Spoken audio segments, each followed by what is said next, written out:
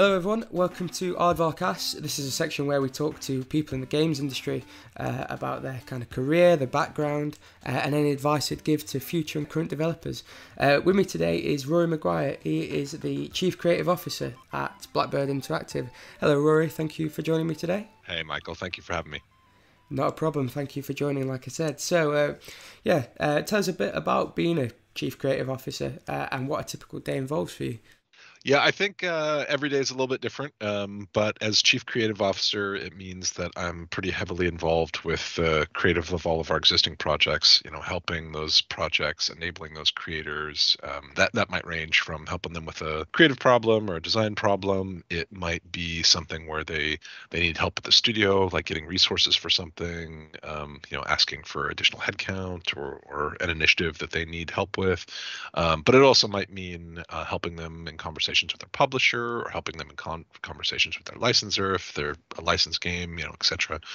So that's the the kind of uh, the projects we have going, and then it's also part of the role, and a substantial part of the role is future projects. So it's uh, building pitches and ideas for games that we want to develop, building programs and architecture like the Skunk program to um, kind of create seeds that will lead to those projects one day, and then also collaborating with partners and and uh, meeting with potential um, publishers and and uh, future creative partners as well. Rory just talked about the the Skunk uh, program. Uh, we talked a lot about that in the full podcast with Blackbird. So if you do want to know more about that, please do go and give that a listen. Uh, but back to you, Rory. Sorry, how long have you been at Blackbird then doing this? It all sounds fantastic. Uh, and sort of what was your career background? How did you get into it? What made you join Blackbird? All that kind of stuff. Awesome. Yeah, I've been at Blackbird uh, eight years. I'm coming up on eight years uh, next week, uh, February 14th. Happy Valentine's Day. That will be uh, that will be my eight year anniversary. Um, and I came to Blackbird. Just I absolutely loved the Homeworld series, and at the time it was a startup that ha- had not made a game, but they were making a homeworld game with Gearbox, and uh, actually had a friend connect me with um, the CEO Rob and the executive producer at the time JD, and I didn't know anybody at the studio. I just loved Homeworld and I wanted to work with them. Um, so yeah, that was that was my my start there eight years ago. Prior to that, I worked at uh, Sony Online. I was there, uh, contributed lightly to a whole bunch of their MMOs while I was there, and then prior to that, I was at High Moon Studios, which um, at the time we were building we were building original IP. That studio is still still going. They're they're working on Call of Duty. They worked on Destiny 2 for a while. Um, but our claim to fame back then was we were the first game studio to use Agile and Scrum. And this was looking at this yesterday because I was chatting with somebody about it. It was 16 years ago. I wrote an article about uh, Scrum and how it could be useful for game designers. Um, so that was a, was a long time ago because uh, Scrum wow. is now just industry standard. yeah, it's it's incredible. You should say that because obviously, like I said earlier, I do the, the job post and almost every single one in this kind of department is yeah needs agile and Scrum uh, experience and stuff like that. So that's incredible. Um, so going even further back then, Rory, what sort of sparked an interest for you in the in the games industry? Um, I think like most, I, I love games from a young age, but there was a particular point where I was probably 16 and uh, I downloaded, you know, I was playing a bunch of games at the time. It was Quake and it was kind of that second generation of first person shooters. And I ended up downloading an editor just to kind of play around with it. And I remember I downloaded it in the morning and at like five in the morning, I stopped playing with it. So it was like 18 hours of being an editor, like literally watching my first tutorial and then like building a map in one session and I just disappeared into it. It felt like I was a wizard casting a spell, like I was just creating something and I had like this incredible power to create something from nothing and and it was yeah, I was just absolutely connected with it. It'd be the equivalent of like, you know, a kid sitting down to like play with a keyboard and sitting there for 18 hours and being like, "Holy crap." so um that was I, I went from that to basically just building a ton of ton of maps and a ton of um, content for mods and and uh, that's ultimately what led me to to join the industry was focusing a lot on on mods and and building a portfolio there. That, and i think that that's still a good way to get into design. Um, i think most people if you ask them from my generation like oh you know how did you get into design? Can i do the same? Most people would say no because it's like oh i knew somebody or whatever or i fell into the job from such and such, or I, I, one of the first guys I worked with had a PhD in marine biology, and it's like that, wow. those types of backgrounds don't really end up in games now. Um, mm-hmm. But uh, the method that I used, which was to build mods and just build a portfolio, it's still very viable 20 years later. Like I actually yep. recommend to folks if they ask, like go to a school if you can. But if you can't go to a school, like there's tons of great editors online and you can build a really formidable portfolio without somebody teaching you necessarily. But I do recommend people go to school if they can. Yeah. What was your uh, your first role in the industry? Yeah, I was uh, I was an assistant designer at what would become High Moon. At the time, we were that studio went through many mergers and acquisitions. Um, they are now owned, or they are now tentatively owned by Microsoft because Microsoft has just acquired Activision, who acquired Sierra, who acquired High Moon from Sammy, and that was the original. Uh, Sammy Sega was the original owner. Um, so it was a studio called Sammy Studios. Um, they were working on this original IP called uh, Darkwatch, a first-person shooter. And uh, yeah, I got a job as like an assistant level designer. So I was just making levels and um, the very first levels I made are absolutely terrible, um, but uh, eventually they they shaped me into a pretty good level designer, and I focused on that through my first couple of games until I uh, started later on focusing on uh, game design as a whole, game mechanics, systems, you know, the creative direction, the whole shebang. Do you ever look back on uh, the first levels that you made and see how far you've come and compare, or maybe even be a bit nostalgic over? I've still got some of the some of the designs and some of the white boxes from my first levels. Um, I've still got them. Made some real rookie mistakes in those early days. My very first level, I remember it was like 10 kilometers by 10 kilometers, this massive island with like all kinds of stuff, and it's like that was like rookie mistake number one is like make something really small and tight and great and start there mm-hmm. before you make big ridiculous things. Yeah. Um but yeah I, I do occasionally look back at that stuff and it's come a long way. That's good that's always good. Is there any other advice? Obviously you said you know rule number one don't make a massive island if, and but is there any other uh, advice that you'd give to someone starting out either in level design or design as a whole or even just the industry um, I think I think I do think level design is a great way to come up in the industry. Still, um, I recommend it to people whenever they ask, and when students ask about it, I, I absolutely recommend um, level design.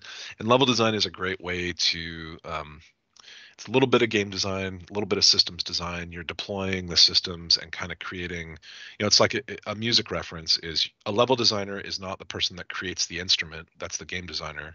And they aren't necessarily someone who writes the song, that's like the creative director or the the narrative uh, director, but they are the person that plays the song and they are the person that provides the experience. So it's like the player can only experience your game through content can only experience your game through levels so the level designer is kind of the the maestro of it all you know you're mm. like the the conductor for the player's experience you're the one who gives them high highs and low lows and how they experience the game and it's a really great way to come into game design uh, it, because you can experience that connection to the player in the most fundamental way before you dive into you know systems design or game mechanics or or any yeah. of those things. Um, it's a great great way to get started. And level design is still probably one of the most hired design positions. Like uh, there's a lot of level design opportunities, especially in AAA. I, I mean, that's that's the advice you'd give someone starting now.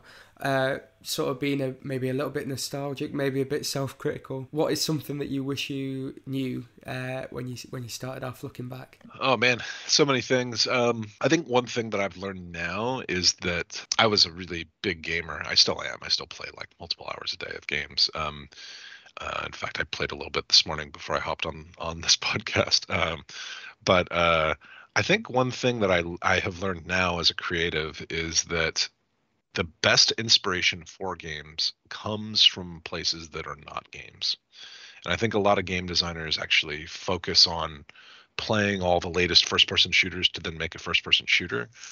And I think some of the freshest experiences in FPSs in the last 10 years have actually come from people finding inspiration in places that weren't games. So, for example, um, PlayerUnknown's Battlegrounds or uh, DayZ is actually an extremely great example where DayZ was inspired because the creator was uh, on a bivouac uh, in the military and had to survive on this bivouac. It was like a you know they were given a limited amount of food and they could ambush other soldiers and take their food but uh, they had to survive in the wild for four days. And he was like, "This would be an amazing video game," and that's what he made. That's what DayZ is, right? Like it's that's yeah. the core fundamentals of DayZ. It's not Quake. It's not any of the games that came before it. It's surviving in the wild.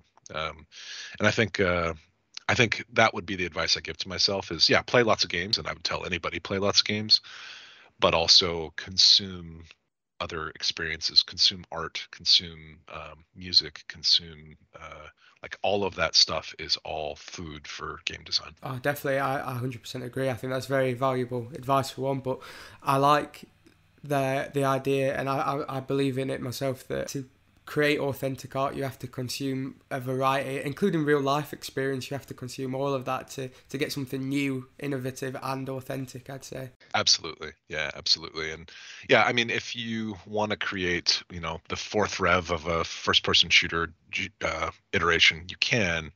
But the thing that's really going to move somebody and change somebody is is something that's inspired through real life experience. Um, so that's obviously very profound in terms of art and you know life in general. But if we sort of like hone it in onto the games industry, obviously you've been in it for nearly twenty years now, um, producing for console, PC, and mobile.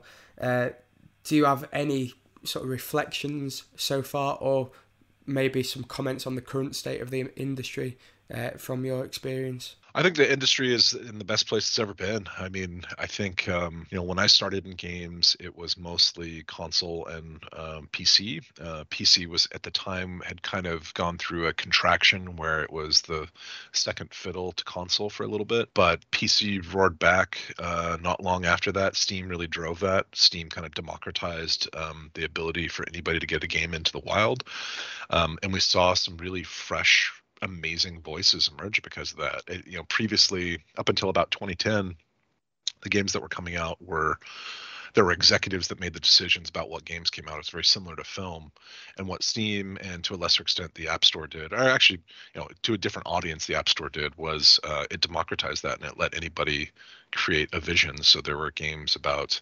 everything. There are games about walking in the woods. There are games about um, going through a transition uh, to to be uh, from man to woman. There was uh, games about like all these unique experiences, being a border guard, like games that would not literally have not even crossed the desks of the executives that would have mm. made those decisions. And I think that creative experience uh, or those creative experiences have really reinvigorated the industry. So even now in AAA and these really big games, you're seeing those voices starting to influence them. So I think creatively, the industry is just in this really incredible spot right now, and uh, business-wise, never been better. You know, growth throughout the last 10 years has been amazing. The last three years in particular, like we're all inside, we're all playing video games. It's Netflix or video games. That's that's what yeah. we've done for the last two years.